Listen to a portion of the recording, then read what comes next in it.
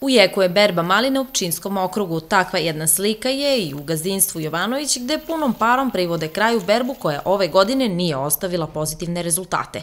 Proizvođač je zadovoljan cenom maline i prinosom za ovu letnju sezonu. Prisutna je bolest kod malina kojoj je desetkovala rod, pa domaćini nemaju puno reči hvale za ovogodišnji rod. Berba na plantaži malina je pri kraju, uglavnom ih beru penzioneri, a proizvodi idu u hladnjaču i dalje na otkup.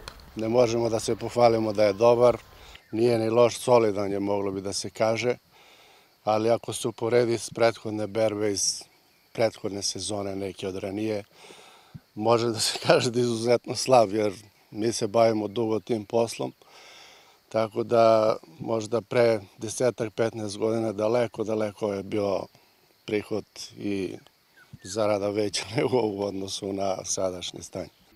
Blaga i topla klima na jugu Srbije su dobar preduslov za uspešnu proizvodnju, ali postoji biljne bolesti koje su znatno umanjile rod.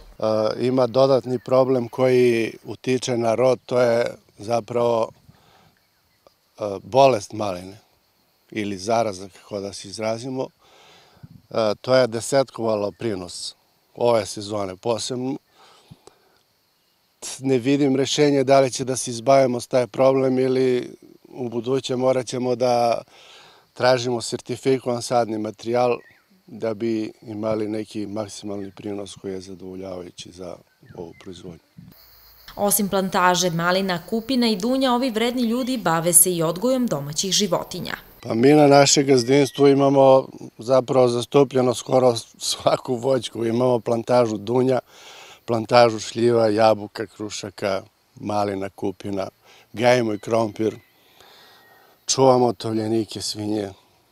Znači, malte ne proizvodimo skoro, skoro 90% hranu za, za svoje gazdinstvo. Jovanović se nada da će novim zasadima sledeće godine uspeti da nadoknadi prinos, kao i dobiti veću zaradu za ogroman trud i rad koji je ulagao godinama unazad.